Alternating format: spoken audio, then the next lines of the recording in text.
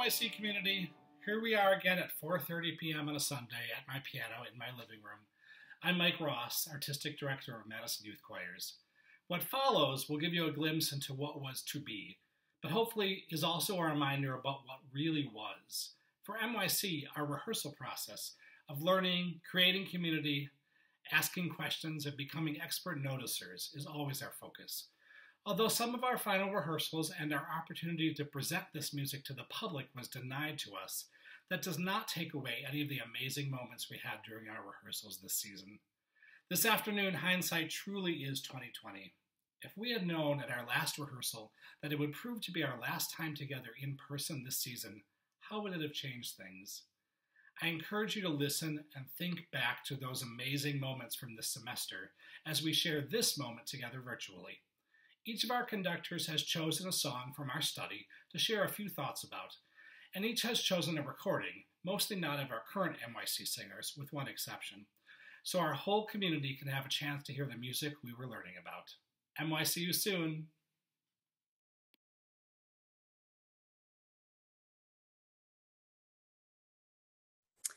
So one of the pieces that Con Gioia was studying as part of our hindsight journey this semester is a piece called Impart. Uh, it's composed by contemporary composer Stephen Paulus, who died just a few years ago, I believe in 2014.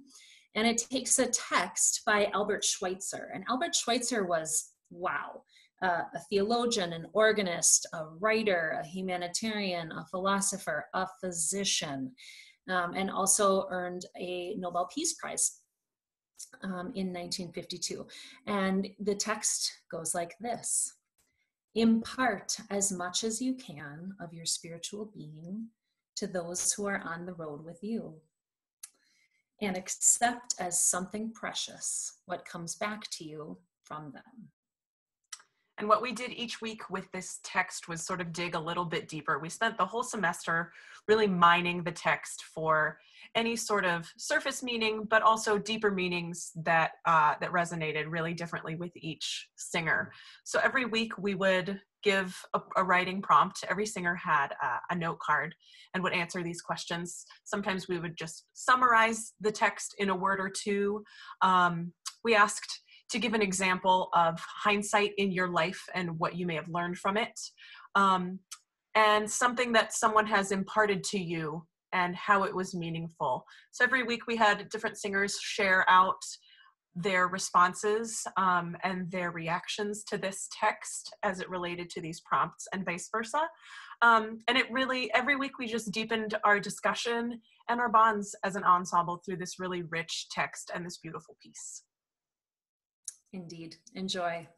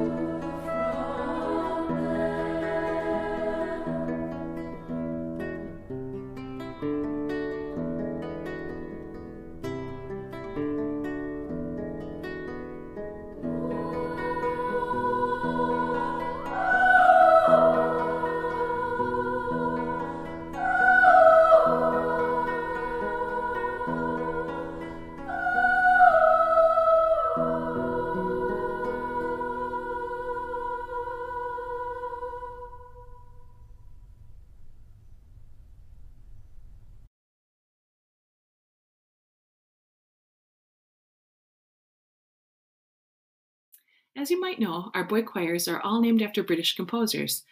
Our choir Purcell is named after the composer Henry Purcell.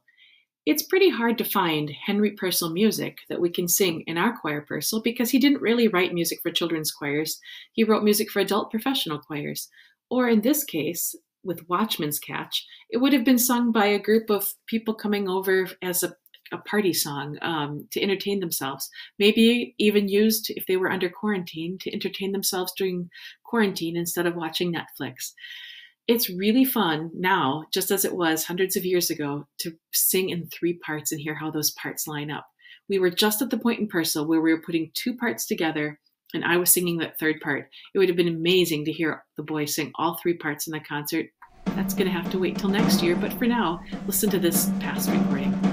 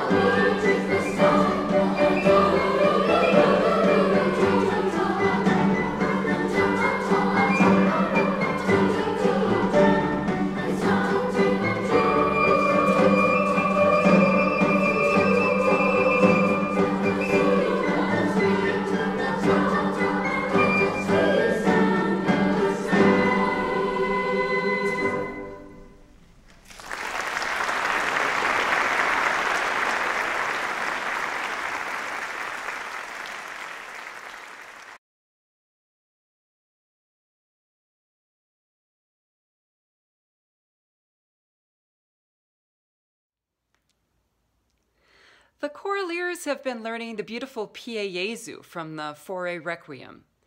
We learned that a requiem is music to remember a lost loved one and discussed the importance of reflecting on all the people who positively impact our lives and walk life's journey with us. The famous Pie Jesu movement is a personal message of hope, and we considered the question how does the music create a sense of hopefulness? One expert noticer enjoys the sense of calm that the music creates and went on to discover that the final statement of Sempiternam Requiem, eternal rest, is different than all of the others.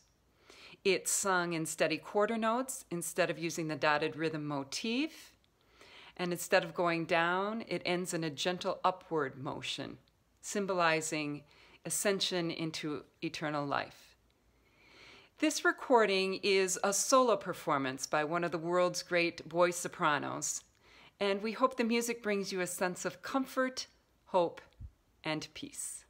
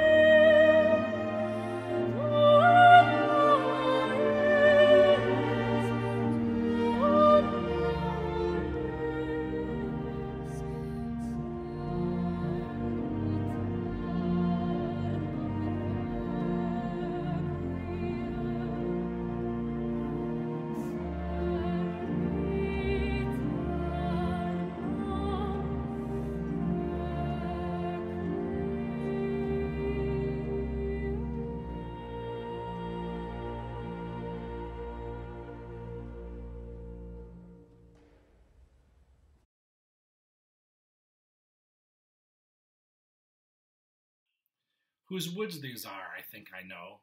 His house is in the village, though. He will not see me stopping here to watch his woods fill up with snow. My little horse must think it queer to stop without a farmhouse near, between the woods and frozen lake, the darkest evening of the year.